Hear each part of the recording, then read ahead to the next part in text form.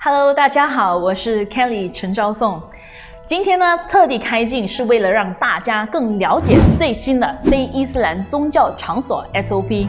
为了遏止冠病在社区中传播，国家团结部在五月十一日已经宣布了将会收紧在行动管制令三点零期间非伊斯兰宗教场所内的宗教活动。那么，共有三样东西需要大家注意的。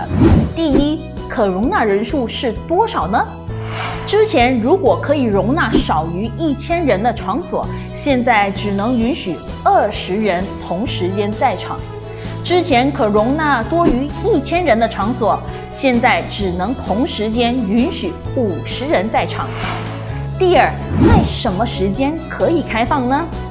可分为两个时段开放，第一个时段为早上六点至下午两点。